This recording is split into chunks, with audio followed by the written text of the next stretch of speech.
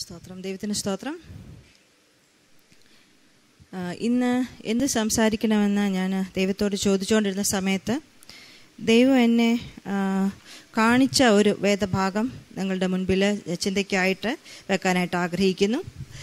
ഈ ഈ ഇതിനെപ്പറ്റി ഞാൻ കൂടുതലായിട്ട് ചിന്തിച്ചുകൊണ്ടിരുന്ന സമയത്ത് കഴിഞ്ഞ ദിവസം ബസ്സിൽ ഞാൻ അടൂരോ അടൂരോട്ട് വരുന്ന സമയത്ത് ട്രാൻസ്പോർട്ട് സ്റ്റാൻഡിന്റെ അടുത്തെത്തിയപ്പം ബസ്സിലുള്ള കണ്ടക്ടർ വിളിച്ചു പറഞ്ഞു ദാണ്ട് സരിതയും അമ്മയും നിൽക്കുന്നെന്ന്. എനിക്ക് പെട്ടെന്ന് മനസ്സിലായില്ല ഏത് സരിതയാന്ന് പറഞ്ഞത്. പിന്നെ എനിക്ക് മനസ്സിലായി ഈ അടുത്ത സമയത്ത് വളരെ പത്രങ്ങളിലൊക്കെ വളരെ വിവാദത്തിന് വിഷയമാക്കിയ ആ സഹോദരിയുടെ കാര്യമാണ് പറയുന്നത് എനിക്ക് മനസ്സിലായി. എത്രമാത്രം ആ ഒരു ഒരു ഒരു ഒരു സഹോദരി ഒരു സ്ത്രീ സാധാരണപ്പെട്ട ഒരു ഒരു സ്ത്രീ എത്ര എത്രമാത്രം താൻ ചെയ്ത ചില ദൈവികമല്ലാത്ത പ്രവർത്തനങ്ങളിലൂടെ പ്രസിദ്ധമായി എന്ന് അന്നേരം എനിക്ക് മനസ്സിലായത്. എളുപ്പന്ന് പണം ഉണ്ടാക്കാൻ വേണ്ടി അങ്ങനെ ധനികയാകാൻ അല്ലെങ്കിൽ അങ്ങനെ ഈ ലോകത്തിന്റെ സുഖങ്ങൾ അന്വേഷിച്ച് പോയ ഒരു സഹോദരിയാണ് നാം കാണുന്നത്. ഈ ലോകത്ത് നാം നോക്കുകയാണെങ്കിൽ പലരും പണത്തിന് വേണ്ടിയും അതുമാത്രമല്ല സ്ഥാനത്തിന് വേണ്ടിയും മഹിമയ്ക്ക് വേണ്ടി മഹത്വത്തിന് വേണ്ടിയൊക്കെ ഒത്തിരി ഒത്തിരി തന്നെത്താൻ കാര്യങ്ങൾ ചെയ്യുന്ന ഒത്തിരി പേരുണ്ട്. എന്നാൽ ഇന്ന് ഹോഷയുടെ പുസ്തകം പതിനാലാം അധ്യായം ഒന്ന് മുതൽ ഒമ്പത് വരെയുള്ള വാക്യം നമുക്കൊന്ന് ശ്രദ്ധിക്കാം. ഹോഷയുടെ പുസ്തകം പതിനാലാം അധ്യായം ഒന്ന് മുതൽ ഒൻപത് വരെയുള്ള വാക്യങ്ങൾ. ഇവിടെ ഹൊഷിയ ഹോഷിയ പ്രവച യസക്കേൽ കഴിഞ്ഞ് ദാനിയേൽ കഴിഞ്ഞ് തൊട്ടടുത്ത പുസ്തകമാണ് ഹൊസായ. ഈ ഈ പ്രവാച ഒരു ഒരു പ്രവാചകനായി നമ്മൾ ഇദ്ദേഹത്തെ കാണുന്നുണ്ട്. ബി സി എട്ടാം നൂറ്റാണ്ടിലാണ് ഇദ്ദേഹം ശുശ്രൂഷിക്കുന്നത്. ബി സി എട്ടാം നൂറ്റാണ്ടിൽ ശലോമോന്റെ കാലശേഷം ദൈവരാ ഇസ്രയേൽ രാജ്യം രണ്ടായിട്ടാ രണ്ടായിട്ട് വിവാഹ വിവാഹിച്ചു. ഒന്ന് വടക്കേ രാജ്യം രണ്ടാമത്തേത് തെക്കേ രാജ്യം. വടക്കേ രാജ്യത്തിന്റെ തലസ്ഥാന നഗരിയായിരുന്നു ശമരിയ. ഈ വടക്കേ രാജ്യത്തോട് സംസാരിക്കുന്നതാണ് ഈ വേദ ഈ ഹൊഷ്യ പ്രവചനം മുഴുവനായിട്ടും. ഹൊഷ്യ പ്ര ഹൊഷയെ പറ്റി ചിന്തിക്കുകയാണെങ്കിൽ അദ്ദേഹത്തിന്റെ വാക്കുകൾ മാത്രമല്ലായിരുന്നു ദൈവമക്കൾക്ക് ദൈവത്തിന്റെ ഒരു സന്ദേശമായി ലഭിച്ചത്. അദ്ദേഹത്തിന്റെ ജീവിതം കൂടി ദൈവമക്കൾക്ക് ഒരു സന്ദേശമായിരുന്നു. എന്ന് പറഞ്ഞാൽ ഹൊഷയായോട് ദൈവം പറയുന്നുണ്ട് നീ ചെന്ന് വ്യഭിചാരിണിയായ ഒരു സ്ത്രീയെ വിവാഹം കഴിക്കുക. എന്നിട്ട് രണ്ട് കുഞ്ഞുങ്ങൾ അവർക്ക് ഉണ്ടാകുന്നുണ്ട്. ആ രണ്ട് കുഞ്ഞുങ്ങളുടെ പേരിന്റെ പ്രത്യേകമായ അർത്ഥം ഉണ്ടായിരുന്നു. ഒന്ന് ഒന്നാമത്തെ പേരിന്റെ അർത്ഥം സ്നേഹിക്കപ്പെടാത്തവൾ. രണ്ടാമത്തെ പേരിന്റെ അർത്ഥം എന്റെ ജനമല്ല.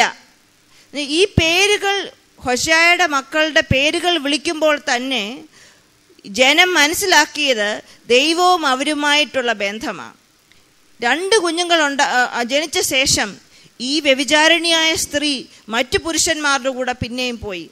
മൂന്നാം അധ്യായത്തിൽ നാം കാണുന്നുണ്ട് ഹൊഷായോട് ദൈവം പറഞ്ഞു നീ ചെന്ന് അവളെ വിലയ്ക്ക് വാങ്ങി കൊണ്ടുവരിക. ദൈവം ഇസ്രായേൽ മക്കളോട് എപ്രകാരം സ്നേഹിക്കുന്നോ അതുപോലെ നീ ഗോമർ ഗോമർ എന്ന സ്ത്രീയുടെ പേര് ഗോമറിനെ സ്നേഹിക്കണം. ഹൊഷയ തിരിച്ചു ചെന്ന് ഈ സഹോദരിയെ സ്വീകരിച്ച് കൂടെ താമസിച്ചാൻ തുടങ്ങിയപ്പോൾ ജനം മനസ്സിലാക്കും ദൈവത്തെ വിട്ടുപോയ ജനത്തെ ഓടുള്ള ദൈവത്തിന്റെ സ്നേഹം എത്രമാത്രമാണെന്ന്. അതുകൊണ്ട് ഹൊഷായയുടെ വചനം കൊണ്ട് മാത്രമല്ലായിരുന്നു ദൈവത്തിന്റെ വചനം ഹൊഷായ ജനത്തോട് പറഞ്ഞത്. പിന്നെയോ ഹൊഷായ പ്രവാചകന്റെ ജീവിതവും ഒരു മെസ്സേജായിരുന്നു. ഒരു വചനമായിരുന്നു ദൈവമക്കളോട്. ഈ ഈ ഈ ഈ ബുക്കുകൾ മുഴുവൻ നിങ്ങൾ സമയമുണ്ടെങ്കിൽ വീട്ടിൽ ചെന്ന് വായിക്കണം. ചെറിയ ബുക്കാണ് പതിനാല് അധ്യായമേ ഉള്ളൂ. ഒക്കെങ്കിൽ ഇത് വീട്ടിൽ ചെന്ന് വായിക്കണം. വായിക്കുന്ന സമയത്ത് വ്യക്തമായി ഹൊഷയ പറയുന്നുണ്ട് ഇസ്രയേലിന്റെ പാപം എന്താണെന്ന് പറയുന്നുണ്ട്.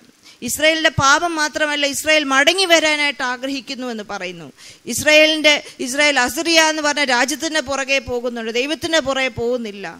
അവർ യാഗങ്ങൾ അർപ്പിക്കുന്നുണ്ട് പക്ഷെ അവരുടെ ഹൃദയം അവിടെ അല്ല. ദൈവവചനത്തിലോ ദൈവ വ്യവസ്ഥയിലോ അല്ല അവരുടെ ഹൃദയം മാത്രമല്ല അവരുടെ ജീവിതവും അപ്രകാരമല്ല. ഉണ്ട് ന്യായവിധി വരുന്നുണ്ട്. ഹൊഷയുടെ നേർക്ക് ന്യായവിധി ഹൊഷയ പറയുകയാണ് ന്യായവിധി വരുന്നുണ്ട്. എന്നാലും അവസാനത്തെ അധ്യായം നാം വായിക്കുമ്പോൾ സ്നേഹം നിറഞ്ഞ ദൈവം അവരോട് പറയുക അനുദപിക്ക. നിങ്ങളുടെ ജീവിതത്തിലെ അനുഗ്രഹത്തിന് വേണ്ടിയുള്ള ഏക താക്കോൽ അനുതാപമാണ്. ഒന്നുകൂടെ ഞാൻ പറയട്ടെ. നമ്മുടെ ജീവിതത്തിലെ അനുഗ്രഹത്തിന് വേണ്ടിയുള്ള ഏക താക്കോൽ അനുദപിച്ച് കർത്താവിന്റെ സന്നിധിയിലേക്ക് മടങ്ങി വരിക. സ്തോത്രം. ഒന്നാം അധ്യായം പതിനാലാം അധ്യായം ഒന്ന് മുതൽ മൂന്ന് വരെയുള്ള വാക്യം ആദ്യമായി നമുക്ക് നോക്കാം. പതിനാലാം അധ്യായം ഒന്ന് മുതൽ മൂന്ന് വരെയുള്ള വാക്യം. ഇസ്രായേലേ നിന്റെ ദൈവമായ ഹോവയുടെ അടുക്കലേക്ക് മടങ്ങിച്ചെല്ലുക നിന്റെ അകൃത്യ നിമിത്തം അല്ലോ നീ വീണിരിക്കുന്നത്. നിങ്ങൾ അനുതാപവാക്യങ്ങളോടുകൂടെ യഹോവയുടെ അടുക്കൽ മടങ്ങിച്ചെന്ന് അവനോട് സകല അകൃത്യത്തെയും ക്ഷമിച്ച് ഞങ്ങളെ കൃപയോടെ കൈക്കൊള്ളണമേ. എന്നാൽ ഞങ്ങൾ ഞങ്ങളുടെ അതിരാർപ്പണമായ കാളകളെ അർപ്പിക്കും. അശൂർ ഞങ്ങളെ രക്ഷിക്കയില്ല. ഞങ്ങൾ കുതിരപ്പുറത്ത് കയറി ഓടുകയോ ഇനി ഞങ്ങളുടെ കൈവേലയോട് ഞങ്ങളുടെ ധേമേ എന്ന് പറയുകയോ ചെയ്യുകയില്ല. അനാഥന് തിരുസന്നിധിയിൽ കരുണ ലഭിക്കുന്നു കരുണ ലഭിക്കുന്നുവല്ലോ എന്ന് പറവിൻ. ദൈവം ഇസ്രായേൽ മക്കളോട് പറയുക മടങ്ങി വരിക. അനുദപിച്ച് മടങ്ങി വരിക. നമ്മൾ വായിക്കുന്നുണ്ടല്ലോ മടങ്ങി വരിക എന്ന് പറഞ്ഞതിന്റെ അർത്ഥം എന്താ? അതൊരു റിക്വസ്റ്റാണ് അതൊരു അപേക്ഷയാണ് മടങ്ങി വരിക. മടങ്ങി വാ എന്ന് പറഞ്ഞാൽ അതൊരു കമാൻഡായിട്ട് ഒരു കൽപ്പനയായിട്ട് പറയാം. സ്നേഹം നിറഞ്ഞ കർത്താവ് ഇസ്രായേൽ മക്കളോട് പറയുക മടങ്ങി വരിക. മടങ്ങി വരിക എന്ന് ഒരാളോട് പറയുന്നതിന്റെ അർത്ഥം എന്താ? ഒരു സമയത്ത് ഒരു- സമയത്ത് ഇവർ ദൈവത്തിന്റെ പുറകെ ആയിരുന്നു. എന്നോ എപ്പോഴോ ഇവരുടെ ആ ഗതി ആ യാത്രയുടെ ഗതിക്ക് ആ ഡയറക്ഷന് വ്യത്യാസമായി. ഇപ്പോൾ പോകുന്ന വഴി തെറ്റാണ്. ഇപ്പോൾ പോകുന്ന ഡയറക്ഷൻ തെറ്റാ. അതുകൊണ്ട് ദൈവത്തിന്റെ ആത്മാവ് അന്ന് ദൈവജനത്തോട് ഓർമ്മിപ്പിക്കുക മടങ്ങിവ എങ്ങോട്ടാ മടങ്ങി വരേണ്ടത്? ദൈവമായ യഹോവയിങ്കലേക്ക്. ദൈവമായ യഹോവയെങ്കിലേക്ക് ഒരു സമയത്ത് ഇവർ ദൈവത്തിന് പുറകെ പോയവരാ. ഇപ്പോൾ അവർക്ക് യഹോവയല്ലാത്ത ദൈവങ്ങൾ പലതുമുണ്ട്. നീ മനസ്സിലാക്കേണ്ടത് യഹോവയാ നിന്റെ ദൈവം. അതുകൊണ്ട് യഹോവയെങ്കിലേക്ക് മടങ്ങി വരിക. ആരാ മടങ്ങി വരേണ്ടത്? ഇസ്രായേൽ. ആരാ ഇസ്രായേൽ? ഒത്തിരി പാരമ്പര്യം പറയാനുണ്ട് ഇസ്രായേലിന്. അബ്രഹാമാണ് ഞങ്ങളുടെ പിതാവ്. ഞങ്ങൾക്ക് ഞങ്ങളുടെ ജീവിതത്തിൽ പുറപ്പാടിന്റെ അനുഭവം ഉണ്ടായിട്ടുണ്ട്. നാൽപ്പത് വർഷക്കാലം ഞങ്ങൾ മഞ്ഞെ അനുഭവിച്ചു. മോശ ഞങ്ങളുടെ വലിയ നേതാവ്. ഞങ്ങൾക്ക് ആലയമുണ്ടായിരുന്നു. ദാവീദ് ശലോമോൻ അങ്ങനെ അങ്ങനെ വളരെ ആളുകളെയും ദൈവം ചെയ്ത അത്ഭുതങ്ങളുടെയും നീണ്ട ലിസ്റ്റ് പറയാൻ പാരമ്പര്യമുള്ളവരാ ഇസ്രായേൽ എവിടെ വെച്ചോ? എപ്പോഴോ?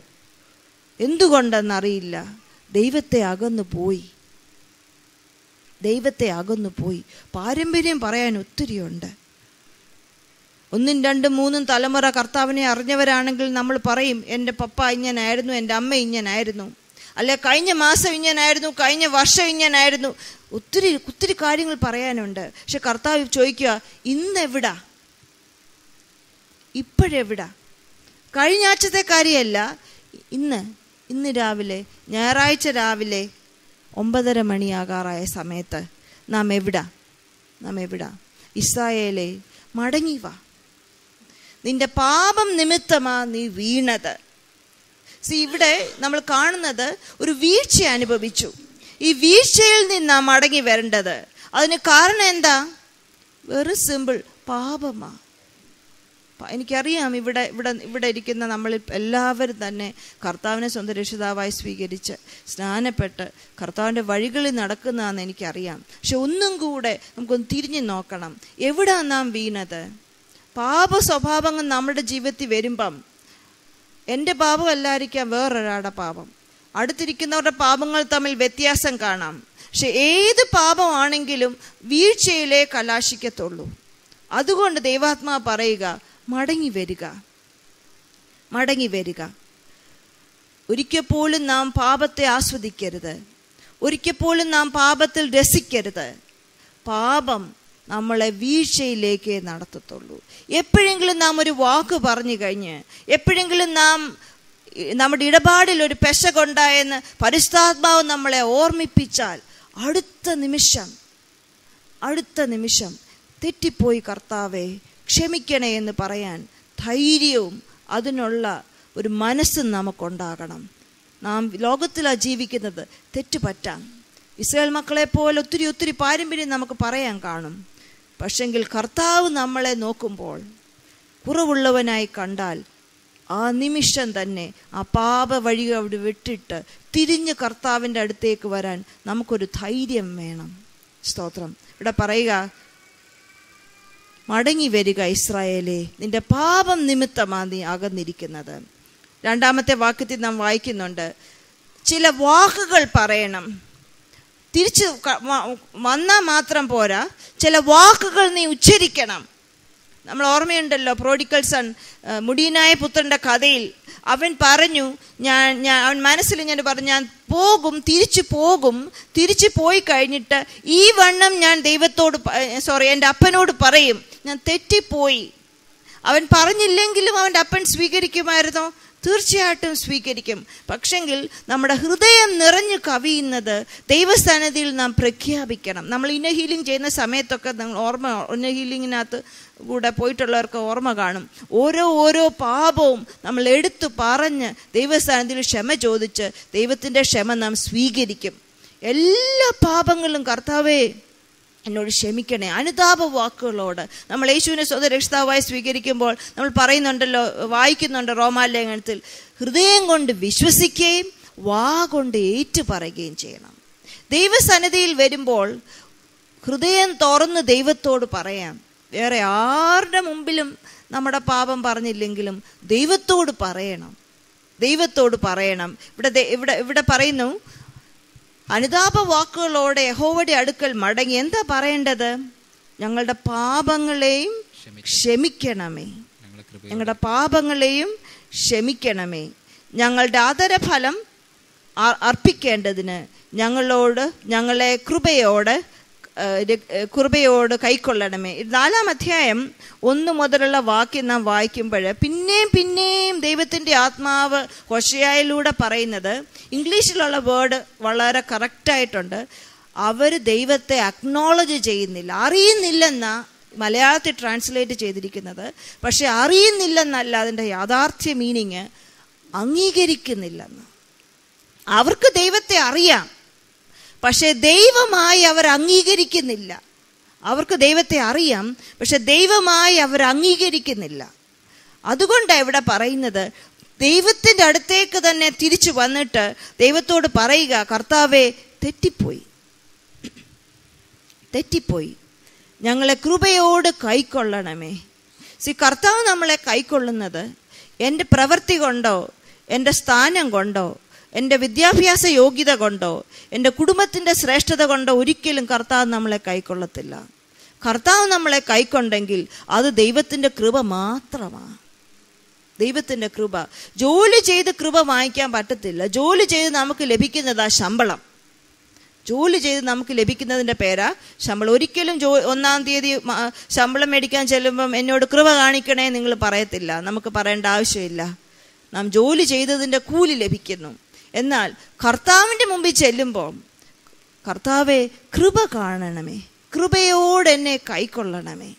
കൃപയോട് എന്നെ കൈക്കൊള്ളണേ കഴിഞ്ഞ ദിവസം ചീഫ് മിനിസ്റ്ററുമായിട്ട് നടന്ന ഒരു ഇന്റർവ്യൂവിന്റെ കാര്യം പറഞ്ഞപ്പം അദ്ദേഹം ഞാൻ അദ്ദേഹം അവരോട് പറഞ്ഞത് പറഞ്ഞു പറഞ്ഞെന്ന് കേൾക്കാനായിട്ട് റെഡിയായി തീർന്നു ഞാൻ ദൈവത്തെ വിശ്വസിക്കുന്നുണ്ട്. പക്ഷെങ്കിൽ എന്നെ നിയന്ത്രിക്കുന്നത് ദൈവഭയമാണ്. ഞാൻ ദൈവത്തെ വിശ്വസിക്കുന്നുണ്ട്. പക്ഷെ എന്നെ നിയന്ത്രിക്കുന്നത് ദൈവ ഭയമാണ് സി ദൈവ ഭയം നമ്മളിന്ന് മാറിപ്പോയാൽ ദൈവത്തെ വിശ്വസിക്കുന്നവർ കാണും. പക്ഷെ ദൈവ ഭയവും വിശ്വാസവും ഒരുപോലെ വേണം. അപ്പോഴാ നാം ദൈവത്തെ അക്നോളജ് ചെയ്യുന്നത്. ദൈവത്തിന്റെ വഴികളെ അക്നോളജ് ചെയ്യുന്നത്. ഇവിടെ പറയുന്നു കർത്താവേ ദൈവമേ ഞങ്ങളുടെ പാപങ്ങൾ ക്ഷമിക്കണേ. പിന്നെ മൂന്നാം വാക്യത്തിൽ പ്രത്യേകം പ്രത്യേകമായ ചില കാര്യങ്ങൾ പറയുന്നുണ്ട്. അശൂർ ഞങ്ങളെ രക്ഷിക്കയില്ല. അസിറിയ എന്ന് പറയുന്നത് അന്നത്തെ കാലത്ത് ഇസ്രായേലിന്റെ തൊട്ടടുത്ത് കിടന്നൊരു രാജ്യമായിരുന്നു. ഇസ്രായേലിനേക്കാളും വളരെ ശക്തിയുള്ള രാജ്യമായിരുന്നു. അതുകൊണ്ട് എപ്പോഴെങ്കിലും ഒരു യുദ്ധഭയം യുദ്ധഭീതി ഇസ്രയേൽ വന്നാൽ ഇസ്രയേൽ രാജാക്കന്മാർ അസൂർ രാജാവിനെയും അസൂർ ദേശത്തെയും ആശ്രയിക്കും. അസൂറ അവരുടെ രക്ഷയെന്ന് അവർ കരുതി. എന്നാൽ ഇവിടെ പറയുക നിങ്ങൾ പറയണം അസൂർ എന്നെ രക്ഷിക്കയില്ല. ഈ ഹൊഷയായുടെ പേരെന്ത് അർത്ഥം അറിയാമോ? യഹോവ രക്ഷകൻ യഹോവ രക്ഷകൻ എന്ന് പറയുന്ന ആൾ വിളിച്ചു പറയുക അസൂർ നിങ്ങളെ രക്ഷിക്കയില്ല. പിന്നെന്താ? യുദ്ധ കുതിരകളുടെ മേൽ ഞങ്ങൾ കയറി ഓടുകയില്ല. യുദ്ധത്തിന് കുതിര സോറി വിജയത്തിന് യുദ്ധ- യുദ്ധത്തിന് കുതിര ആവശ്യമാണ് പക്ഷേ യുദ്ധം വിജയിക്കണമെങ്കിൽ കുതിര കുതിരയ്ക്ക് സാധ്യമല്ലെന്ന് നമ്മൾ സങ്കീർത്തനത്തിൽ പറയുന്നുണ്ട്. ജയത്തിന് കുതിര വ്യർത്ഥമാത്രേ. അന്നത്തെ കാലത്ത് ഈജിപ്തിലെ കുതിരകളായിരുന്നു ഭയങ്കര ശക്തിയുള്ള കുതിരകൾ. ഈജിപ്തിലേക്ക് കുതിരകളെ വാങ്ങിക്കാൻ വേണ്ടി പോകരുതെന്ന് ഇസ്രായേൽ മക്കളോട് ദൈവത്തിന്റെ ആത്മാവ് ഓർമ്മിപ്പിച്ചിരുന്നു. എന്നാൽ പലപ്പോഴും നല്ല കുതിരകളെ നോക്കി മിസ്രൈമിലൊക്കെ മിസ്രൈമിലേക്ക് പല വാവർത്തി അവരുടെ രാജാക്കന്മാർ ഒരു രാജാക്കന്മാർ ഉൾപ്പെടെ ആൾ ഇസ്രായേൽ മക്കൾ പോയി. ദൈവാത്മാവ് പറയുക പ്രഭുക്കന്മാരിൽ ആശ്രയിച്ചാൽ ജയിക്കേ രക്ഷിക്കയില്ല പ്രഭുക്കന്മാരിൽ ആശ്രയിച്ചാൽ രക്ഷിക്കയില്ല. അത് മാത്രമല്ല അവർ ഒന്നുകൂടെ ചിന്തിച്ചു ഞങ്ങളുടെ കൈപ്പ കൈപ്പണിയോടെ ഞങ്ങളുടെ ദൈവമേ എന്ന് ഞങ്ങൾ ഇനി ഒരിക്കലും പറയുകയില്ല. സ്വന്തമായി ചിലതൊക്കെ ഉണ്ടാക്കി വെച്ചിട്ട് അതെന്റെ ദൈവമാണെന്ന് പറഞ്ഞ് എന്നെ രക്ഷിക്കുമെന്ന് പറഞ്ഞ് ആരാധിച്ച ഒരു ജനസമൂഹത്തോട് ദൈവാത്മാവ് പറയുക നാം വിചാരിക്കുന്ന കേവലം മനുഷ്യരോ? നാം വിചാരിക്കുന്ന ഏറ്റവും നല്ലതെന്ന് കരുതുന്ന ചില വസ്തുക്കളോ? നാം തന്നെ ഉണ്ടാക്കിയ നമ്മുടെ കരത്തിൽ കരം കൊണ്ടുണ്ടാക്കിയ ചില ചില കാര്യങ്ങളോ നമ്മളെ രക്ഷിക്കയില്ല. സ്തോത്രം. നമ്മുടെ രക്ഷ വരുന്നത് കർത്താവിന്റെ കയ്യിൽ നിന്ന് മാത്രമാണ്. അവൻ അനാഥന് തിരുസന്നതിയിൽ കരുണ ലഭിക്കും. മുമ്പേ വായിച്ച മുമ്പേ പറഞ്ഞായിരുന്നല്ലോ ഹോഷയുടെ രണ്ടാമത്തെ പുത്രന്റെ പേര് എന്റെ ജനമല്ലെന്നാ. എന്റെ ജനമല്ലെന്ന് പറഞ്ഞാൽ ഇസ്രായേൽ മക്കളെ ദൈവം വിളിക്കുന്ന സമയത്ത് നിങ്ങൾ എന്റെ ജനവും ഞാൻ നിങ്ങൾക്ക് ദൈവവുമായിരിക്കും. ഈ ദൈവമായ ദൈവം പറയുക ഞാൻ നിന്റെ ജ നിങ്ങൾ എന്റെ ജനമല്ല എന്ന് പറഞ്ഞാൽ ഇസ്രായേൽ മക്കൾക്ക് അനാഥരാവര്. അവർക്ക് വേറെ ഇടമില്ല പോകാൻ. പക്ഷെ അനാഥന് കരുണ ലഭിക്കുന്നത് ദൈവസന്നിധിയിൽ മാത്രമാണ്. അനാഥന് കരുണ ലഭിക്കുന്നത് ദൈവസന്നിധിയിൽ മാത്രമാണ്. ഇതുകൊണ്ട് നാം എന്ത് എന്ത് മനസ്സിലാക്കാൻ പറ്റും? സ്തോത്രം. ദൈവം നമ്മുടെ മടങ്ങി വരവിന് വേണ്ടി കാത്തിരിക്കുന്നുണ്ട്. മനുഷ്യരൊരു പക്ഷേ നമ്മളെ തള്ളി പറഞ്ഞേക്കാം. ഒരു പക്ഷേ പറയായിരിക്കും അവന്റെ കൈ കൈയുടെ അവന്റെ കൈയുടെ ബലമാ ലഭിച്ചതെന്ന് പറഞ്ഞേക്കാം. പക്ഷെ കർത്താവ് കരുണയോട് കാത്തിരിക്കുന്നുണ്ട്. മനുഷ്യരിൽ ആശ്രയിക്കുന്നതിനേക്കാൾ യഹോവയിൽ ആശ്രയിക്കുക നല്ലത്. പ്രഭുക്കന്മാരിൽ ആശ്രയിക്കുന്നതിനേക്കാൾ യഹോവയിൽ ആശ്രയിക്കുക നല്ലത്. ഞാൻ ഒന്നുകൂടെ പറഞ്ഞോട്ടെ സ്വന്തം കഴിവിൽ ആശ്രയിക്കുന്നതിനേക്കാൾ യഹോവയിൽ ആശ്രയിക്കുക നല്ലത്. സ്വന്തം കരവിരുതിൽ ആശ്രയിക്കുന്നതിനേക്കാൾ യഹോവയിൽ ആശ്രയിക്കുക നല്ലത്. കർത്താവും വേറെ പലതും അല്ലെങ്കിൽ വേറെ പലതും അതിന് ശേഷം കർത്താവും.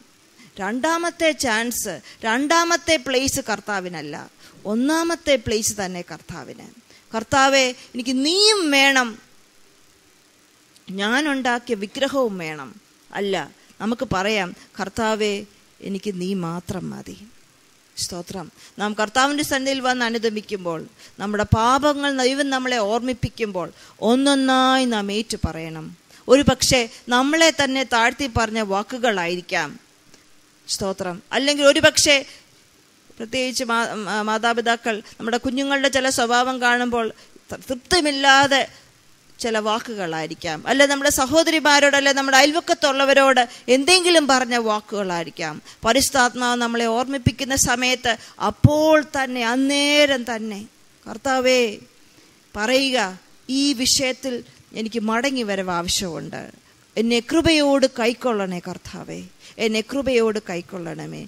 നമ്മുടെ വാക്കുകൾ ഉപയോഗിക്കുക ദൈവത്തെ സ്തുതിക്കാനായിട്ട് അതര അതരഫലം അർപ്പിക്കേണ്ടതിന് ഞങ്ങളെ കരുണയോട് കൈക്കൊള്ളണമേ.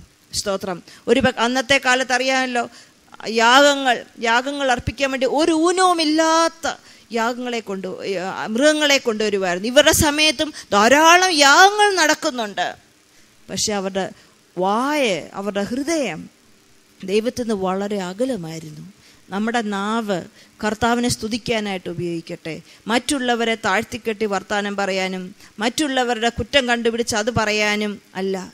ദൈവത്തെ സ്തുതിക്കാനായിട്ട് നമ്മുടെ നാവിനെ നമുക്ക് ഏൽപ്പിച്ചു കൊടുക്കാം. സ്തോത്രം. അടുത്തത് ആദ്യം നമ്മൾ കണ്ടല്ലോ കർത്താവ് നമ്മളെ അനുതാപത്തിലോട്ട് വിളിക്കുക. അടുത്ത വാക്യം നാല് മുതൽ എട്ട് വരെയുള്ള വാക്യം നാം നോക്കുമ്പം നാം മനസ്സിലാകുന്നത് അനുദപിക്കുന്നവർക്ക് അനുഗ്രഹമുണ്ട്. കർത്താവിന്റെ സന്നിധിയിൽ മടങ്ങി വരുന്നവർക്ക് അനുഗ്രഹമുണ്ട്. മുമ്പേ ഞാൻ പറഞ്ഞല്ലോ പലരും ഈ ലോകത്തിൽ പലതിനെയും അന്വേഷിച്ച് നടക്കുക അനുഗ്രഹത്തിന്. ദൈവം അനുഗ്രഹിക്കാത്ത ദൈവമല്ല. ദൈവം അനുഗ്രഹത്തോട് എതിർപ്പുള്ള ദൈവമല്ല. നാം അനുഗ്രഹത്തിന്റെ പുറയല്ല പോകേണ്ടത് അതേ ഉള്ളൂ വ്യത്യാസം. നാം അനുഗ്രഹത്തിന്റെ പുറയല്ല പോകേണ്ടത്. നാം പോകേണ്ടത് ദൈവത്തിന്റെ പുറകെയാണ് നാം പോകേണ്ടത് ദൈവത്തിന്റെ വഴികളുടെ പുറകെയാണ്. സ്തോത്രം. നമുക്കൊന്ന് ചിന്തിക്കാം ഏത് എവിടെ നമുക്ക് അനുഗ്രഹം വേണ്ടത്? ഏത് ഏറിയല്ല നമുക്ക് അനുഗ്രഹം വേണ്ടത്? ആ പ്രത്യേക ഏറിയയിൽ കർത്താവിനെ അനുഗമിക്കാൻ നാം തീരുമാനിക്കാമോ? ഏത് ഏറിയയില്ല ഏത് ഏറിയയില്ല കർത്താവ് നമ്മുടെ ശരീരത്തിന്റെ മാത്രം ദൈവമല്ല കർത്താവ് നമ്മുടെ ജീവിതത്തിന്റെ മുഴുവൻ ദൈവവുമാണ്. എല്ലാറ്റിന്റെയും ദൈവമാണ് കർത്താവ്. ഏത് ഏറിയയില കർത്താവ് എനിക്ക് അനുഗ്രഹം വേണ്ടത്? അത് ആത്മീയമായിക്കോട്ടെ ഭൗമികമായിക്കോട്ടെ കുഞ്ഞുങ്ങളുടെ വിദ്യാഭ്യാസമായിക്കൊള്ളട്ടെ നമ്മുടെ ശാരീരിക സൗഖ്യമായിക്കൊള്ളട്ടെ നമ്മുടെ ജോലിയിലുള്ള വിഷയം ഏത് അവസ്ഥയിലാണെങ്കിലും കർത്താവ് പറയുക അനുദപിക്കുന്നവർക്ക് അനുഗ്രഹമെന്ന് വായിക്കാമോ? നാല് മുതൽ എട്ട് വരെയുള്ള വാക്യം. ഞാൻ അവരുടെ പിന്മാറ്റത്തെ ചികിത്സിച്ച് സൗഖ്യമാക്കും. എന്റെ കോപം അവനെ വിട്ടുമാറിയിക്കയാൽ ഞാൻ അവരെ ഔദാര്യമായി സ്നേഹിക്കും. ഞാൻ ഇസ്രായേലിന് മഞ്ഞു പോലെ ഇരിക്കും. അവൻ താമര പോലെ പൂത്ത് ലെബനോൻ വനം പോലെ വേരൂന്നും. അവന്റെ കൊമ്പുകൾ പടരും. അവന്റെ ഭംഗി ഒരു വൃക്ഷത്തിൻ ഭംഗി പോലെയും അവന്റെ വാസന ലെബനോന്റെ പോലെയും ഇരിക്കും. അവന്റെ നിഴലിൽ പാർക്കുന്നവർ വീണ്ടും ധാന്യം വിളയിക്കും. മുന്തിരിവള്ളി പോലെ തളിർക്കുകയും ചെയ്യും. അതിന്റെ കീർത്തി ലെബാനോനിലെ വീഞ്ഞിന്റെത് പോലെ ഇരിക്കും. എഫ്രീമേ ഇനി ഞാൻ അവന് ഉത്തരമരുൾ എഫ്രേമേ ഇനി എനിക്കും വിഗ്രഹങ്ങൾക്കും തമ്മിൽ എന്ത്? ഞാൻ അവൻ ഉത്തരമരുളി അവനെ കടാക്ഷിക്കും. ഞാൻ തഴച്ചിരിക്കുന്ന സരളവൃക്ഷം പോലെയാകുന്നു എങ്കിൽ നിനക്ക് ഫലം കിട്ടും കണ്ടുകിട്ടും ദൈവത്തെ അന്വേഷിക്കാൻ നാം ഇറങ്ങിയാൽ നാം അവനെ കണ്ടെത്തും. കർത്താവിന്റെ അടുത്തേക്ക് വരാൻ നാം തയ്യാറായാൽ കർത്താവ് നമ്മുടെ അടുത്തേക്ക് വരും. സ്തോത്രം. ഒരിക്കലും നമ്മുടെ കഴിഞ്ഞ കാലങ്ങളിലെ പാപങ്ങൾ എണ്ണി എണ്ണി പറഞ്ഞിട്ട് നമ്മളെ അകറ്റി നിർത്തുന്നവനല്ല ദൈവം. നാം കർത്താവിന്റെ അടുത്തേക്ക് വന്നാൽ കർത്താവ് നമ്മളെ അനു നമ്മുടെ അനുതാപത്തെ അനുതാപമുള്ള നമ്മുടെ മനസ്സിനെ ദൈവം അംഗീ ക്ഷമിക്കുക മാത്രമല്ല ദൈവം നമ്മളെ അംഗീകരിക്കുക കൂടെ ചെയ്യും. അംഗീകരിക്കുക മാത്രമല്ല ദൈവം നമ്മളെ അനുഗ്രഹിക്കുക കൂടെ ചെയ്യും. ഒന്നുകൂടെ പറയട്ടെ ദൈവം നമ്മുടെ പാപം ക്ഷമിക്കുക മാത്രമല്ല ദൈവം നമ്മളെ അംഗീകരിക്കും. അംഗീകാരം മാത്രമല്ല ദൈവം നമ്മളെ അനുഗ്രഹിക്കുകയും ചെയ്യും. സ്തോത്രം. ഇവിടെ നാം വായിക്കുന്നു നാലാം വാക്യത്തിൽ വായിച്ചല്ലോ ഞാൻ അവരുടെ പിന്മാറ്റത്തെ സൗഖ്യമാക്കും. പിന്മാറ്റം രോഗമാണോ? പിന്മാറ്റം രോഗമാണോ? കാലിന് വേദനയും മുട്ടിന് വേദനയല്ല രോഗം. പിന്മാറ്റം രോഗമാണോ? കർത്താവിന്റെ സന്നിധിയിൽ പിന്മാറ്റം രോഗമാ. സ്തോത്രം. അത് കർത്താവ് സൗഖ്യമാക്കേണ്ട ഒരു രോഗമാണ്. ഏതേറിയയില്ല നമ്മൾ പിന്മാറ്റത്തിൽ പോയിരിക്കുന്നത്? ദൈവത്തിനും എനിക്കും അറിയാം. ഒരു പക്ഷേ എന്റെ കൂടെ താമസിക്കുന്നവർക്കും അറിയാം. കൂടെ താമസിക്കുന്നവർക്ക് പോലും അറിയാത്ത ചില ഏറിയകളിൽ പിന്മാറ്റം വന്നെന്ന് വരാം. പക്ഷെ കർത്താവിന്റെ അടുത്ത് വന്നാൽ ആദ്യം നമ്മളെ അനുഗ്രഹിക്കുന്നതിന് മുമ്പേ ദൈവം നമ്മളെ സൗഖ്യമാക്കാൻ ആഗ്രഹിക്കുന്നത്. ആ സൗഖ്യമാക്കുന്നത് കേവലം ശാരീരിക സൗഖ്യമല്ല പിന്നെയോ നമ്മുടെ ആത്മാവിന്റെ സൗഖ്യമാണ് നമ്മുടെ ആത്മാവിന്റെ സൗഖ്യമാണ് സ്തോത്രം. അവൻ നമ്മളുടെ പിന്മാറ്റത്തെ ചികിത്സിച്ച് സൗഖ്യമാക്കും. സ്തോത്രം. ഇടയ്ക്കിടയ്ക്കുള്ള പിന്മാറ്റമല്ലായിരുന്നു ഇസ്രായേൽ മക്കളുടെ പിന്മാറ്റം. ഒരു നീണ്ട വർഷത്തെ ദൈവത്തിന്റെ പുറം കാണിച്ചുള്ളൊരു യാത്രയായിരുന്നു. ആ അത്രയും ദീർഘമായ കഠിനമായ പിന്മാറ്റത്തെ സൗഖ്യമാക്കാൻ കഴിവുള്ളവനാണ് ദൈവം. സ്തോത്രം. അത് മാത്രമല്ല അവൻ പിന്മാറ്റത്തെ സൗഖ്യമാകുക മാത്രമല്ല അവൻ ഔദാര്യമായി സ്നേഹിക്കും. ഔദാര്യമായി സ്നേഹിക്കും. നമുക്ക് മാതാപിതാക്കളായ പലരും ഇവിടെ ഇരിപ്പുണ്ട് സഹോദരിമാരായ പലരും ഇവിടെ ഇരിപ്പുണ്ട് സഹോദരന്മാർ നമുക്ക് സഹോദരന്മാർ സഹോദരിമാരെല്ലാം ഉണ്ട്. നമ്മുടെ സ്നേഹത്തിനൊക്കെ പരിമിതികളില്ലേ? ഇല്ലേ? ഇല്ലേ? നാം ഇഷ്ട നമുക്ക് ഇഷ്ടമുള്ളൊരു കാര്യം ചെയ്താൽ നമുക്ക് അവരോട് ഭയങ്കര ഇഷ്ടമാണ് നാം ഇഷ്ടമല്ലാത്തൊരു കാര്യം ചെയ്താലോ അന്നേരം അറിയാം നമ്മുടെ തനിനിറം പക്ഷെ ഇവിടെ നാം വായിക്കുന്നത് ദൈവത്തിന്റെ സ്നേഹം അങ്ങനല്ല. വ്യവസ്ഥകൾ വെച്ചുള്ള സ്നേഹമല്ല. ദൈവത്തിന്റെ സ്നേഹം ഔദാര്യമായി തീരുന്നതാണ് മുമ്പേ പറഞ്ഞല്ലോ ജോലി ചെയ്ത് ലഭിക്കുന്നതല്ല ദൈവത്തിന്റെ സ്നേഹം. ദൈവത്തിന്റെ സ്നേഹം ചുമ്മാ തരുന്നതാണ് അവന്റെ അടുത്ത് അനുതാപത്തോട് വരുന്നവർക്ക് തരുന്നതാ ദൈവത്തിന്റെ സ്നേഹം.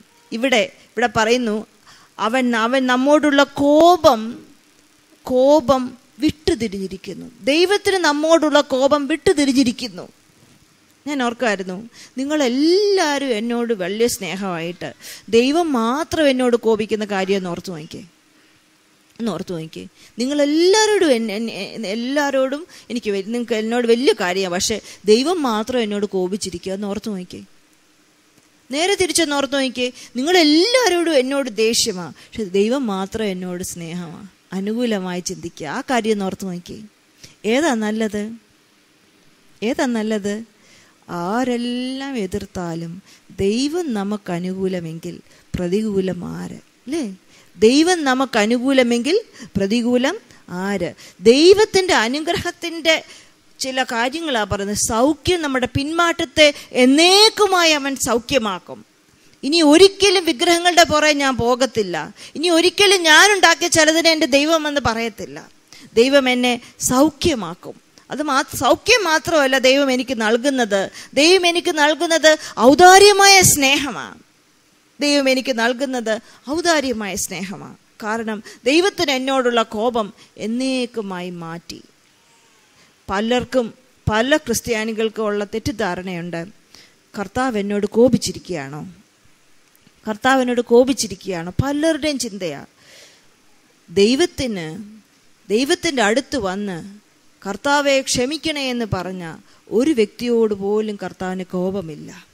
അവന്റെ കോപം ക്ഷണ നേരത്തേക്കേ ഉള്ളൂ. അങ്ങനെ നമ്മൾ വായിക്കുന്നത്. അവന്റെ കോപം ക്ഷണ നേരത്തേക്കേ ഉള്ളൂ. അവന്റെ സ്നേഹമോ തലമുറ തലമുറയോളം നിൽക്കുന്നത് അവന്റെ സ്നേഹവും അവന്റെ കരുതലും. അത് ജോലി ചെയ്ത് ലഭിക്കുന്നതല്ല. ഞാൻ സമയത്ത് ചർച്ച വന്നുകൊണ്ട് ദൈവം എന്നെ സ്നേഹിക്കുമെന്നല്ല അല്ലെങ്കിൽ ദശാംശം കൊടുത്തതുകൊണ്ട് ദൈവം എന്നെ സ്നേഹിക്കുമെന്നല്ല അല്ലെ പാട്ട് പാടാൻ കയറിയോണ്ട് വചനം വായിക്കുന്നതുകൊണ്ട് പ്രാർത്ഥിക്കുന്നത് കൊണ്ട് ദൈവം എന്നെ സ്നേഹിക്കുന്നല്ല ദൈവത്തിന്റെ സ്നേഹം ദൈവം നമ്മളുടെ സ്നേഹത്തിന്റെ പ്രദർശനമായി നാം അവന് കൊടുക്കുന്നതാണെങ്കിൽ ഇതൊന്നും ദൈവം നമ്മളോട് സ്നേഹിക്കാനായിട്ട് സ്നേഹത്തെ പിടിച്ചു വാങ്ങിക്കാൻ പറ്റത്തില്ല. അനുതാപമുള്ള ഹൃദയത്തോട് ദൈവസ്ഥാനത്തിൽ ചെല്ലുന്നതാ ദൈവ ദൈവം നമ്മളെ സ്നേഹിക്കാനുള്ള ഏക കാരണം. സ്തോത്രം. പിന്നെയും അനുഗ്രഹങ്ങളുടെ ലിസ്റ്റ് പറയുകയാണ്. ഞാൻ ഇസ്രയേലിന് മഞ്ഞുതുള്ളി പോലെ ആയിരിക്കും. ഇത് വായിച്ചപ്പോൾ ഞാൻ ചിന്തിപ്പിച്ചത് ഞാൻ ഇസ്രയേൽ മക്കൾക്ക് മഞ്ഞുതുള്ളി കൊടുക്കുമെന്നല്ല പറഞ്ഞത്. ഞാൻ ചില കാര്യങ്ങൾ ഇസ്ലാമിനൊക്കെ നൽകി കൊടുക്കുമെന്നല്ല പറഞ്ഞത്? പിന്നെയോ ഞാൻ അവർക്ക് മഞ്ഞുതുള്ളി പോലെയായിരിക്കും. നമുക്കിതിന്റെ അർത്ഥം അത്രയ്ക്ക് മനസ്സിലാകത്തില്ല. കാരണം നമുക്കിവിടെ ധാരാളം മഴ ലഭിക്കുന്നവരാ. ഇസ്രായേൽ മക്കൾക്ക് അവരുടെ വെള്ളത്തിന്റെ ഒരു വലിയ സോഴ്സ് എന്ന് പറഞ്ഞാൽ ഈ മഞ്ഞു തുള്ളിയാണ് മഞ്ഞു തുള്ളി കൊണ്ടാണ് അവരുടെ അവരുടെ ലാൻഡ് അവരുടെ ഭൂമി നനയുന്നത്. ദൈവം എന്താ പറയുന്നത്? ഞാൻ അവർക്ക് മഞ്ഞു തുള്ളി പോലെ ആയിരിക്കും എന്ന് പറഞ്ഞാൽ അവരുടെ ജീവിതത്തിലെ സോഴ്സ് വെള്ളത്തിന്റെ സോഴ്സ് അനുഗ്രഹത്തിന്റെ സോഴ്സ് ദൈവം തന്നെയായിരിക്കും. അവർ ലില്ലി പോലെ പുഷ്പിക്കും. ലില്ലിപ്പൂക്കളെ അറിയാമല്ലോ നാലടി മൂന്നടി ഉയരത്തിലുള്ള വളരെ മനോഹരമായ പൂക്കൾ. വളരെ നാളുകൾ അനങ്ങാതെ കിടക്കുകയായിരിക്കാം ആ ബൾബ് ഭൂമിക്കടിയിൽ. വെള്ള മഴ വീണാൽ ഉടനെ ഇത് തളിർത്തു വരും വളരെ ഭംഗിയാണ് ലില്ലിപ്പൂക്കൾ ലില്ലിപ്പൂക്കളുമായിട്ട് കമ്പയർ ചെയ്തിട്ട് കർത്താവ് പറയുക ഞാൻ നിങ്ങളെ മനോഹരമുള്ളവാക്കും. സ്തോത്രം. നമ്മുടെ അനുഗ്രഹത്തിന് ഒരു ഒരു ഒരു ഭാഗം മാത്രമല്ല നമ്മളെ മനോഹരമുള്ളതാക്കുമെന്ന്. നമുക്ക് ബ്യൂട്ടി തരുമ്പോൾ നമുക്ക് സൗന്ദര്യം തരുന്നതാണ് ദൈവത്തിന്റെ ദൈവത്തിന് നമ്മോടുള്ള അനുഗ്രഹങ്ങളുടെ വേറൊന്ന്. അടുത്ത് ആ ഒരു ലില്ലി പുഷ്പം കൊണ്ട് മാത്രം നമ്മുടെ അനുഗ്രഹത്തിന്റെ ലിസ്റ്റ് നിർത്തുന്നില്ല. അടുത്തത് പറയുന്നു ലെബാൻഡൂനിൽ ദേവദാരു പോലെ അവൻ ആഴത്തിൽ വേരൂന്നും. അതിനെപ്പറ്റി ഞാൻ ചിന്തിച്ച നോക്കിയപ്പോൾ മനസ്സിലായത് ലില്ലിപ്പൂ നാലടിയേ ഉള്ളൂ. പക്ഷെ ദേവദാരു ഉണ്ടല്ലോ നൂറടി വരെ പോകും. അത് മാത്രമല്ല അത് വളരെ ഉയരമുള്ള പർവതത്തിൽ ആറായിരം മൂവായിരം മുതൽ ആറായിരം അടി വരെ ഉയരമുള്ള പർവതത്തിന്റെ പുറത്താ ഈ നൂറടി ഉയരമുള്ള ദേവദാരുക്കൾ നിൽക്കുന്നത് ശക്തിയെ കാണിക്കുന്നത്.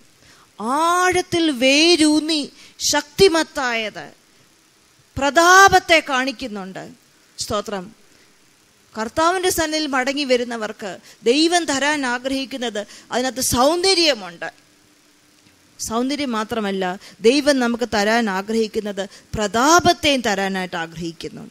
അടുത്തത് നമ്മൾ വായിക്കുന്നു അത് അവന്റെ ഇളം കൊമ്പുകൾ വളരും അവന്റെ ഭംഗി ഒലിവ് വൃക്ഷത്തിന്റെ ഒരു വൃക്ഷം വൃക്ഷത്തിന്റെ തഴപ്പ് പോലെ ഇരിക്കും. സ്തോത്രം. വൃക്ഷത്തെ പറ്റി ഞാൻ ചിന്തിച്ചപ്പോഴേ വൃക്ഷത്തെ പറ്റി മനസ്സിലായത് സമാധാനത്തിന്റെ ലക്ഷണമാണ് ഒലിവ്. അത് മാത്രമല്ല ഫലപുഷ്ടിയുടെ ലക്ഷണമാണ് ഒലിവ്. ശക്തിയുടെ മഹത്വത്തിന്റെ വിജയത്തിന്റെ മാത്രമല്ല പവിത്രതയുടെ ലക്ഷ്യം കൂടാ ഒലിവ്. ഒലിവ് ബ്രാഞ്ച് അല്ലെ ഒലിവ് ഒലിവ് കൊണ്ടുള്ള ഇലകൾ അന്ന് സമ്മാനമായി കൊടുത്തിരുന്നു. സ്തോത്രം. ദൈവം നമ്മളെ അനുഗ്രഹിക്കാൻ ആഗ്രഹിക്കുന്നത് ഏകദേശം ഒരു ഏറിയായി മാത്രമല്ല എല്ലാ ഏറിയാലും ഫലപുഷ്ടിയാക്കാൻ പവിത്രയുള്ളതാക്കാൻ ദൈവം ആഗ്രഹിക്കുന്നുണ്ട്. പിന്നെ താഴോട്ട് പിന്നെയും നമ്മൾ വായിക്കുന്നുണ്ട്. അവന്റെ കീർത്തി ലബാനോനിലെ വീഞ്ഞിന്റെ പ്രസിദ്ധി പോലെ ഇരിക്കും. തഴപ്പുണ്ട് തള്ളുർപ്പുണ്ട് പ്രസിദ്ധിയുണ്ട്. വീഞ്ഞ് വീഞ്ഞെന്ന് പറഞ്ഞാൽ ആ സമയത്ത് വളരെ പ്രസിദ്ധി ആർജിച്ചത് ഒന്നായിരുന്നു. വളരെ സൗരഭ്യമുള്ളതായിരുന്നു. ദൈവത്തിന് നമ്മളെ അനുഗ്രഹിക്കാൻ ആഗ്രഹിക്കുന്നത് ചെറിയ ചെറിയ ചെറിയ ഏരിയയിൽ മാത്രമല്ല. അതുകൊണ്ടാണ് ഞാൻ മുമ്പേ ചോദിച്ചത് ഏത് ഏരിയയിലാണ് നമുക്ക് വളർച്ച ആവശ്യമുള്ളത്?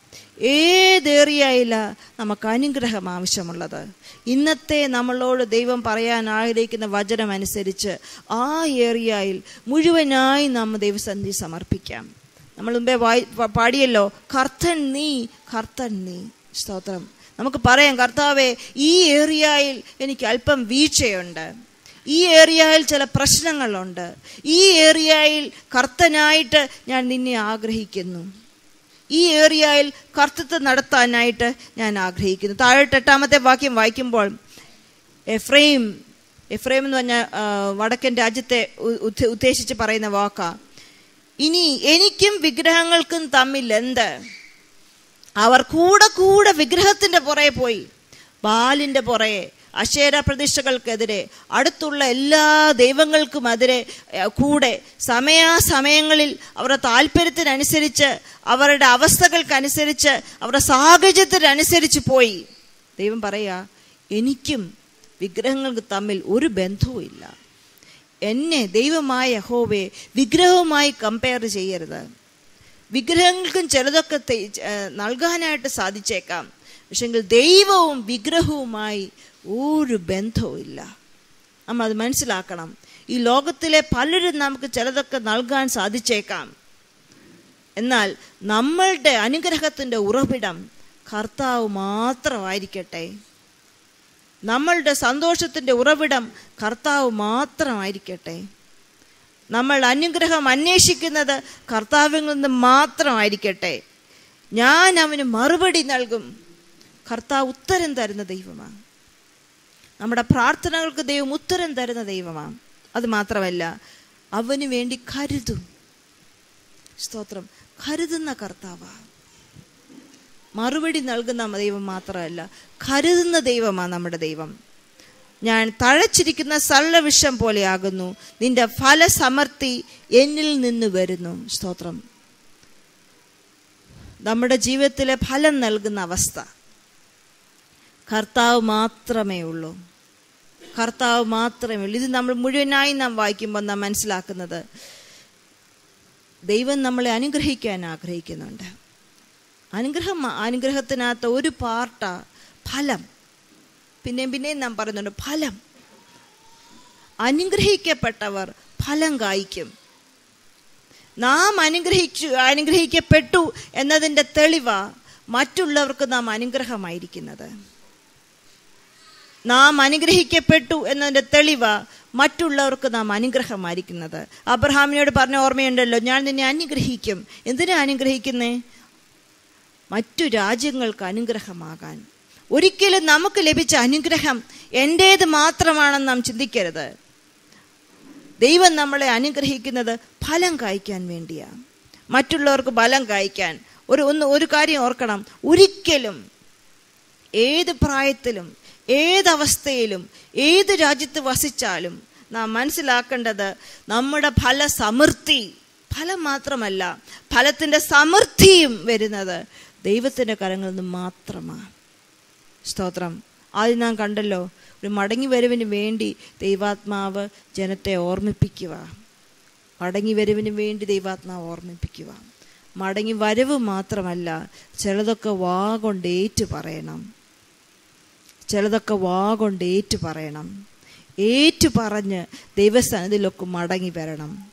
മടങ്ങി വരുന്നവരെ അനുഗ്രഹിക്കാൻ ദൈവം വിശ്വസ്തനാ. ദൈവസ്ഥാനത്തിൽ വിശ്വാസത്തോട് അന്വേഷിക്കുന്നവർക്ക് പ്രതിഫലമുണ്ട് നിശ്ചയം. എബ്രാഹിലേനം പതിനൊന്നാം അധ്യായം നമ്മൾ വായിക്കുന്നുണ്ട്. ദൈവത്തെ അന്വേഷിക്കുന്നവർക്ക് ദൈവത്തിന്റെ പുറകെ പോകുന്നവർക്ക് പ്രതിഫലമുണ്ട് നിശ്ചയം. പക്ഷെങ്കിൽ ഈ പ്രതിഫലത്തിന്റെ പുറകെയല്ല ഞാൻ പോകുന്നത്. അനുഗ്രഹത്തിന് പുറകെയല്ല ഞാൻ പോകുന്നത്. ഞാൻ പോകുന്നത് ദൈവത്തിന്റെ പുറകെയാണ്. ഞാൻ പോകേണ്ടത് ദൈവത്തിന്റെ പുറകെയാണ്. കാരണം കർത്താവ എന്നെ അനുഗ്രഹിക്കുന്നത്. ഫലം മാത്രമല്ല ഫല സമൃദ്ധിയും തരുന്നത് ദൈവമാണ്. അനുഗ്രഹത്തിന് ലിസ്റ്റ് നമ്മൾ കണ്ടല്ലോ. സൗന്ദര്യമുണ്ട് അതിനകത്ത്. തഴപ്പുണ്ട് തളിർപ്പുണ്ട്. സ്തോത്രം. മഹത്വമുണ്ട് പ്രതാപമുണ്ട്. ജയമുണ്ട്. സൗരഭ്യമുണ്ട്. ഇതെല്ലാം അനുഗ്രഹത്തിന്റെ ലിസ്റ്റിനകത്തുള്ളതാണ് എന്നാൽ അതിന്റെ കീ അനുതാപം. സ്തോത്രം. എന്തുകൊണ്ട് ഇതുകൊണ്ട് ഈ ഒരു വാക്യം എട്ടാം വാക്യം കൊണ്ട് ഹൊഷയായുടെ പ്രവചനം അവസാ പ്രവചന പുസ്തകം അവസാനിച്ചില്ല എന്ന് ഞാൻ ചിന്തിച്ചു. എന്തുകൊണ്ട് എട്ടാം അധ്യ എട്ടാം വാക്യം കൊണ്ട് ഹൊഷയായുടെ പ്രവചന പുസ്തകം അവസാനിച്ചില്ല? ഒമ്പതാം വാക്യം വായിക്കുമ്പം വളരെ എന്നെ ചലഞ്ച് ചെയ്ത ഒരു വാക്യം ഒമ്പതാം വാക്യം. ഒത്തിരി എന്നെ ഒത്തിരി എന്നെ ചിന്തിപ്പിച്ചു. ഇപ്പോഴും എന്നെ ചിന്തിപ്പിക്കുന്ന ഒരു വാക്യമാണ് ഒമ്പതാം വാക്യം. ഒന്ന് വായിക്കാമോ? ഇത് ഗ്രഹിപ്പാൻ തക്ക ജ്ഞാനി ആര്? ഇത് അറിവാൻ തക്ക വിവേകി ആര്? യഹോവയുടെ വഴികൾ ചൊവ്വുള്ളവയല്ലോ. നീതിമാന്മാർ അവയിൽ നടക്കും. അതിക്രമക്കാരോ അവയിൽ ഇടറി വീഴും.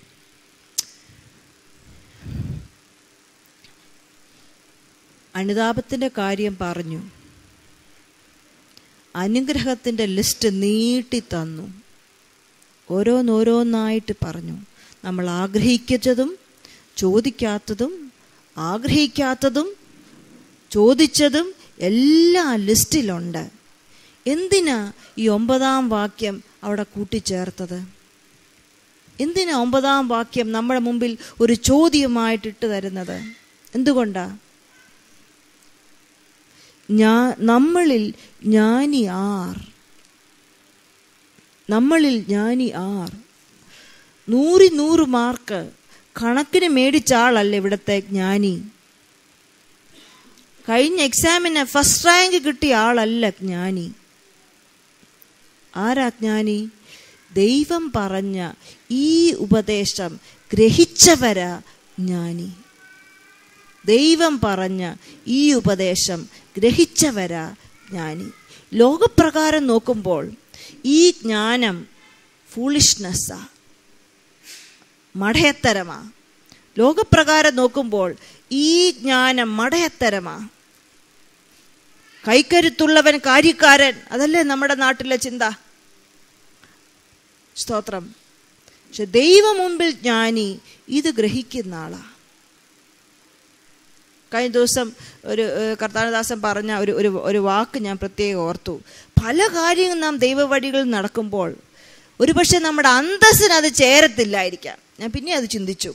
ചില കാര്യങ്ങൾ നാം ദൈവസ്ഥാനത്തിൽ നീതിയോട് ചെയ്യുമ്പം മറ്റുള്ളവർക്കും നമുക്കും നമ്മുടെ അന്തസ്സിന് ചേരാത്ത കാര്യമാണെന്ന് നമ്മൾ ചിന്തിച്ചേക്കാം. അന്തസ്സിന് ചേരുന്ന കാര്യമല്ല ദൈവാത്മാവിടെ പറയുന്നത്. ദൈവത്തിന് ചേരുന്ന കാര്യമാണെന്നാ. ദൈവമഹത്വത്തിന് ചേരുന്ന കാര്യമാണ് ദൈവാത്മാ അവിടെ പറയുന്നത്.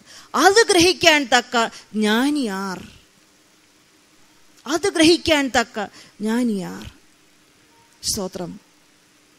എന്റെ വെള്ള സാരി കൊണ്ട് ഞാൻ ദൈവം മുൻപിൽ ജ്ഞാനിയാണെന്ന് പറയാൻ പറ്റത്തില്ല. എന്റെ പ്രാർത്ഥന കൊണ്ട് എന്റെ പ്രാർത്ഥനയുടെ നീട്ടം കൊണ്ട് എന്റെ പ്രാർത്ഥനയുടെ ചുരുക്കം കൊണ്ട് ദൈവസന്നിധിയിൽ നീതിയാണെന്ന് പറയാൻ പറ്റത്തില്ല. ദൈവസന്നിധിയിൽ ഞാൻ ജ്ഞാനിയാണെന്ന് പറയാൻ പറ്റത്തില്ല. ഞാൻ തന്നെ ചിന്തിക്കേണ്ട ചില കാര്യമാണ് ഞാൻ ദൈവസ്ഥാനത്തിൽ ജ്ഞാനിയാണോ? ചെവി ഉള്ളവൻ കേൾക്കട്ടെ എന്ന് ദൈവത്തിന്റെ ആത്മ പിന്നെയും പിന്നെയും പറഞ്ഞിട്ടുണ്ട്. ചെവി ഇല്ലാത്തവരാണോ നമ്മൾ ചെവി ഉള്ളവൻ കേൾക്കട്ടെ എന്ന് യേശുവും പറഞ്ഞിട്ടുണ്ട്. വെളിപ്പാട് പുസ്തകത്തിൽ പിന്നെയും പിന്നെയും പറഞ്ഞിട്ടുണ്ട്. ചെവി ഉള്ളവൻ കേൾക്കട്ടെ. അതിന്റെ അർത്ഥം ഈ അക്ഷയമായ ചെവിയല്ല ഈ പുറത്തു കാണുന്ന ചെവിയല്ല. ദൈവത്തിന്റെ വഴികൾ ഗ്രഹിക്കാൻ തക്കവണ്ണം നമ്മുടെ ആന്തരിക കണ്ണും ആന്തരിക ചെവിയും തുറന്നെങ്കിൽ അവനാ ജ്ഞാനി. അവനാ ജ്ഞാനി. ഇത് വിവേചിക്കുന്നവർ ആർ? അവൻ അത് മനസ്സിലാക്കും. സ്തോത്രം. യഹോവയുടെ വഴികൾ ചൊവ്വുള്ളവ തന്നെ.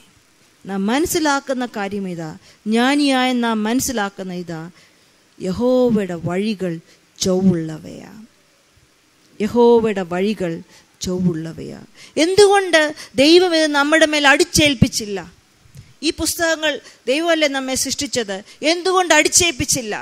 ദൈവത്തിന്റെ ഹിതം നമ്മൾ എന്തുകൊണ്ട് അടിച്ചേൽപ്പിച്ചില്ല? നമ്മളെ അതേപോലെ ആക്കിയ നാമെല്ലാം അങ്ങനെ നടക്കത്തില്ലേ? ഏതൻ തോട്ടത്തിലെ കാര്യം അറിയാമല്ലോ? എന്നും ദൈവം വരുമായിരുന്നു നോർത്തു നോക്കിയേ. ഹോ നാം ദൈവത്തെ വിശ്വാസ കണ്ണുകൊണ്ട് കാണുന്നു. ഒരുപക്ഷെ ദർശനത്തിലൊക്കെ കണ്ടവർ കാണും. ദൈവശബ്ദം ഈ ചെവിയിലൂടെ ശ്രവിച്ചവർ കാണും. എന്നും ദൈവത്തെ ഈ രണ്ട് കണ്ണുകൊണ്ട് കണ്ട അന്ന് അവർ കണ്ണാടിയൊന്നും വേണ്ട.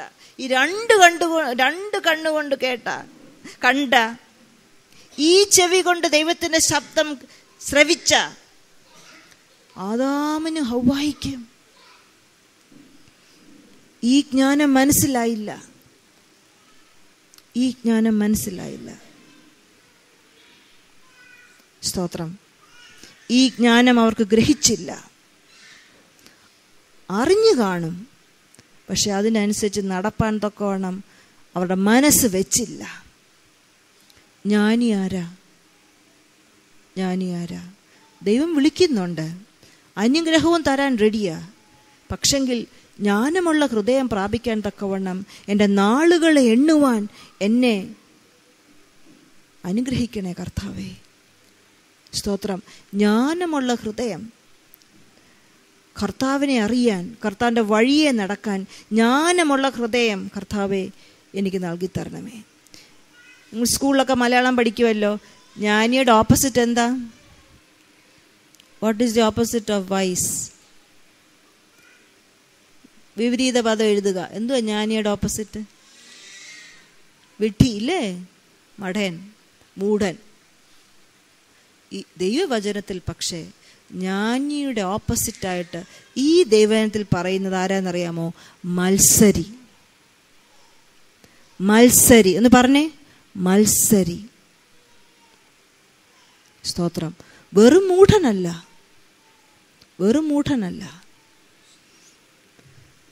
നൂറിൽ സീറോ വാങ്ങിക്കുന്ന ആളല്ല. പക്ഷെ നൂറ് നൂറായിരിക്കും വാങ്ങിക്കുന്നത്. പക്ഷെ മത്സരമാ. മത്സരമാ. മത്സരികൾ ഇടറി വീഴും. ഞാൻ നിങ്ങളോടൊന്ന് ചോദിച്ചു. ദൈവത്തിന്റെ വഴി മനസ്സിലാക്കിയ ചിലർ ഇതിനകത്ത് ഇരിപ്പുണ്ട്. ദൈവത്തിന്റെ പുറകെ പോകാൻ താല്പര്യമില്ലാത്തൊരു ഇതിലുണ്ട് സ്നാനപ്പെടുന്ന രക്ഷിക്കപ്പെടുന്ന കാര്യമല്ല ഞാൻ പറയുന്നത്. വ്യക്തമായ ദൈവത്തിന്റെ ചില വ്യക്തമായ ചില വെടിപ്പാടുകൾ തന്നിട്ട് പുറകെ പോകാൻ താല്പര്യമില്ലാത്തവരുണ്ട്. ദൈവം നമ്മളെ മൂഢരെന്നല്ല വിളിക്കുന്നത്. ഞാൻ ഉൾപ്പെടെ ദൈവം വിളിക്കുന്നത് മത്സരി എന്ന. സ്തോത്രം. മത്സരികൾ. ദൈവം ഒരിക്കലും ഇടറി വീഴാൻ ആഗ്രഹിക്കുന്നില്ല. നമ്മളെ ഇടർത്തി വീ ഇടറി വീഴ്ത്താനും ദൈവാത്മാവ് ആഗ്രഹിക്കുന്നില്ല. ദൈവം ആഗ്രഹിക്കുന്നത് അനുഗ്രഹമാണ്. പക്ഷെ തെരഞ്ഞെടുക്കുന്നത് എന്റെ ചുമതലയാണ് തെരഞ്ഞെടുക്കേണ്ടത് എന്റെ ചുമതലയാണ് സ്തോത്രം. അനുതാപം മാത്രം പോരാ. അനുതാപത്തിനനുസരിച്ച് ഓരോ ദിവസവും എന്റെ ജീവിതം ക്രമീകരിക്കാൻ എനിക്ക് ദൈവസമർപ്പണം. എല്ലാം മുട്ടും മടങ്ങും. അന്ന് കർത്താവിന്റെ മുൻപിൽ. പക്ഷെ ഇന്നെന്റെ മുട്ട് മടങ്ങുന്നുണ്ടോ?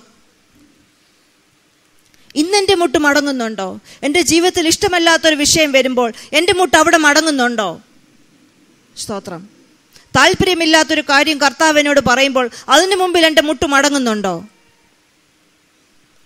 കൂട്ടുകാരെല്ലാം ഒരു വഴിയായിരിക്കാൻ പോകുന്നത് എന്റെ അയൽക്കാരെല്ലാം ഒരു വഴിയായിരിക്കാൻ പോകുന്നത് പക്ഷെ ആ മറ്റ് അവിടെയും എന്റെ മുട്ട് മടങ്ങുന്നുണ്ടോ? ദൈവം മുൻപിൽ സ്തോത്രം. ഇത് ഗ്രഹിക്കാൻ തക്ക ജ്ഞാനിയാർ. ഇത് ഗ്രഹിക്കാൻ തക്ക വിവേകിയാർ. ഇടറിപ്പോകാൻ ദൈവം ആഗ്രഹിക്കുന്നില്ല. നമ്മുടെ ഇടർച്ച കണ്ട് രസിക്കുന്നവനല്ല നമ്മുടെ ദൈവം. സ്തോത്രം. നമ്മുടെ ഇടർച്ച കണ്ടിട്ട് വഴി മാറിപ്പോകുന്നവനല്ല നമ്മുടെ ദൈവം. കരുണയോട് അവൻ കാത്തിരിക്കുക സ്തോത്രം. അനുഗ്രഹത്തിന്റെ ലിസ്റ്റുമായിട്ട് അവൻ കാത്തിരിക്കുക. സ്തോത്രം. ഒരു നിമിഷം നമുക്ക് പ്രാർത്ഥിക്കാം. എഴുന്നേറ്റ് നിന്നാട്ടെ. യെസ് ലോഡ് ജീസസ് പരിശുദ്ധാത്മാവെ നീ ഞങ്ങളുടെ ഇടയിലൂടെ ഉലാവിക്കാട്ടെ. ഓരോ കസാരയുടെ ഇടയിലൂടെയും കർത്താവെ നീ ഉലാവിക്കാട്ടെ. ഞങ്ങളുടെ ശരീരത്തെ മാത്രമല്ല ഞങ്ങളുടെ മനസ്സിനെയും ഞങ്ങളുടെ ആത്മാവിനെയും കർത്താവെ നീ തൊട്ടാട്ടെ. Yes lord Jesus yes father God പരിശുദ്ധാത്മാവെ നീ ഇറങ്ങി വന്നാട്ടെ. ഇടർച്ചകൾ സംഭവിച്ചു പോയി കർത്താവെ. തോൽവികൾ സംഭവിച്ചു പോയി മത്സര മനോഭാവം ഞങ്ങളുടെ ജീവിതത്തിൽ വന്നുപോയി കർത്താവേ. താങ്ക് യു ലോഡ് ജീസസ് മറ്റുള്ളവരെ ഉൾക്കൊള്ളാൻ കഴിയാതായി പോയി കർത്താവേ Jesus thank you lord Jesus thank you father God thank you lord Jesus എനിക്കൊരു പക്ഷേ അറിയത്തില്ലായിരിക്കാം. എവിടൊക്കെയാ മടങ്ങി വരവിന്റെ ആവശ്യമുണ്ടെന്ന്. പരിശുദ്ധാത്മാവിന് നല്ലതായിട്ട് അറിയാം. പരിശുദ്ധാത്മാവിനോടൊന്ന് ചോദിക്കാമോ? ദൈവത്തോടൊന്ന് ചോദിക്കാമോ? കർത്താവെ എവിടാ ഞാൻ മടങ്ങി വരേണ്ടത്? എവിടാ ഞാൻ മടങ്ങി വരേണ്ടത്? ഒരു പക്ഷേ പ്രാർത്ഥനയിലായിരിക്കാം. അല്ലെങ്കിൽ മറ്റുള്ളവരെ കരുന്നടത്തായിരിക്കാം. അല്ലെങ്കിൽ നഷ്ടപ്പെടുന്ന നഷ്ടപ്പെട്ടു പോകുന്ന മരിച്ചു പോകുന്ന ദൈവമില്ലാതെ മരിച്ചു പോകുന്ന ആത്മാക്കൾക്ക് വേണ്ടിയുള്ള ഭാരമായിരിക്കാം.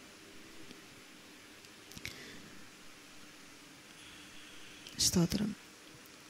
എനിക്കൊരു പ്രത്യേക വേർഡ് എന്റെ മനസ്സിൽ വരുന്ന. ആപ്പതി. ആപ്പതി എന്ന് പറഞ്ഞാൽ കരുതാത്ത അവസ്ഥ.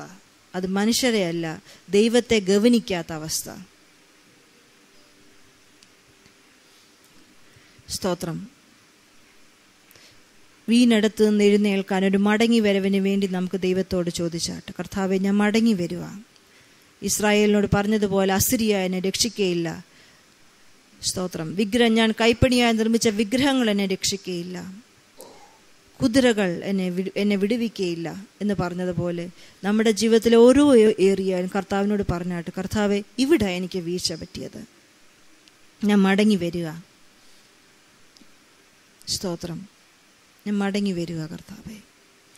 ശീതവാനുമല്ല ഉഷ്ണവാനുമല്ല ശീതോഷ്ണവാനായിരിക്കുന്ന അവസ്ഥയിൽ നിന്ന് കർത്താവെ ഒരു മടങ്ങി വരവ് എനിക്ക് വേണം. ഒരു മടങ്ങി വരവ് എനിക്ക് വേണം കർത്താവെ. താങ്ക് യു ഫാദർ ഗാഡ് അനുഗ്രഹത്തിന്റെ പുറകെ പോയത് മതി കർത്താവെ. ഞാൻ നിന്റെ പുറകെ വരുക ഞാൻ നിന്റെ പുറകെ വരുക thank you lord Jesus thank you lord Jesus പ്രാർത്ഥന ആവശ്യമുള്ളവർ ഈ വചനം ഈ വചനത്തിന്റെ അടിസ്ഥാനത്തിലോ വേറെ ഏതെങ്കിലും ആവശ്യം നിങ്ങളുടെ ജീവിതത്തിലുണ്ടെങ്കിൽ ഒരു പക്ഷെങ്കിൽ രോഗസൗഖ്യമായിരിക്കാം അല്ലെ ഏതെങ്കിലും ഒരു പ്രത്യേക ആവശ്യമായിരിക്കാം. പണമോ എന്തെങ്കിലും ആവശ്യമായിക്കൊള്ളട്ടെ. പ്രാർത്ഥനയ്ക്ക് ആവശ്യമുള്ളവർ മുൻപോട്ട് കടന്നു വന്നാൽ നമുക്ക് പ്രാർത്ഥിക്കാനായിട്ട് സമയമെടുക്കാം. സ്തോത്രം. ഏത് വിഷയമായിക്കൊള്ളട്ടെ മുൻപോട്ട് കടന്നു വന്നാൽ പ്രാർത്ഥിക്കാനായിട്ട് സമയമെടുക്കാം. പ്രത്യേകമായിട്ട് ഈ വചനം കർത്താവിനോട് സംസാരിച്ചു.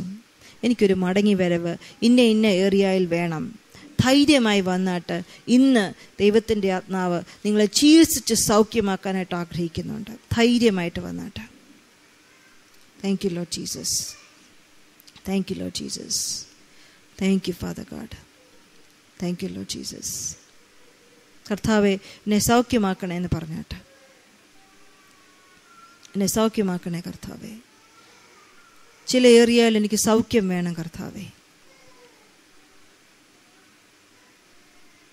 Thank you father God thank you lord Jesus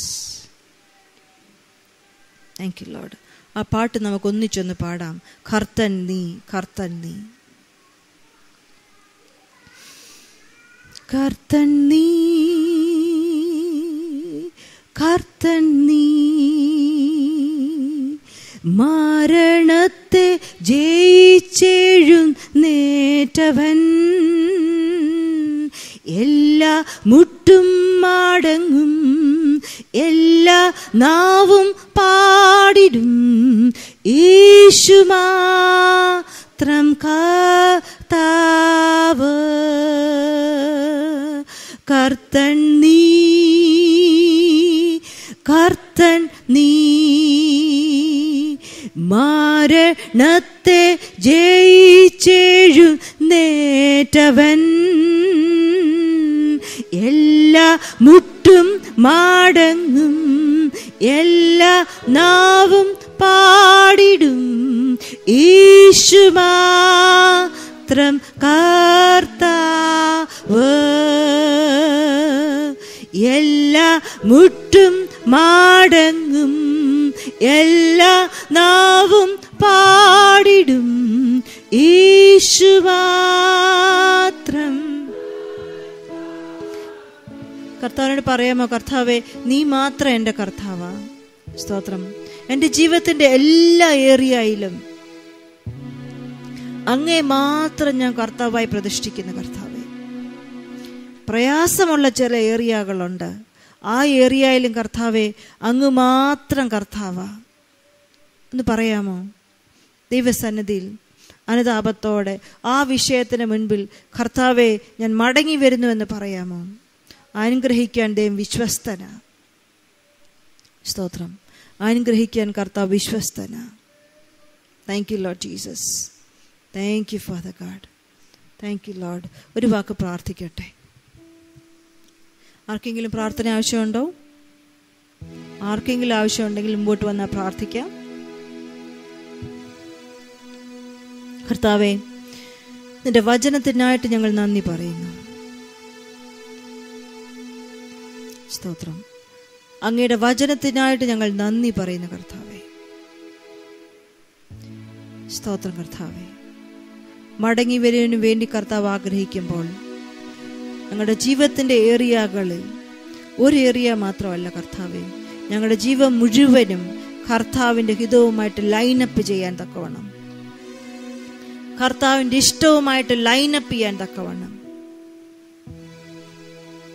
yes Lord ഞങ്ങളെ ദൈവകരങ്ങളിൽ സമർപ്പിക്കുന്നു.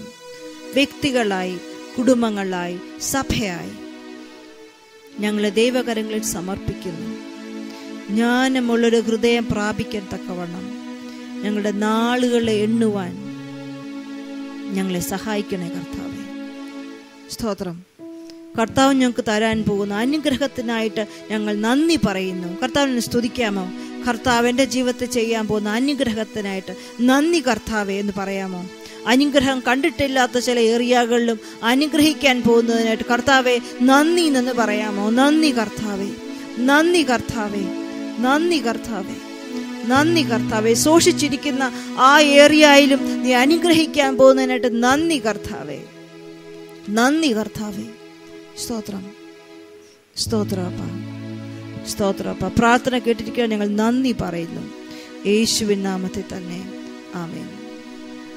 Thank you Jesus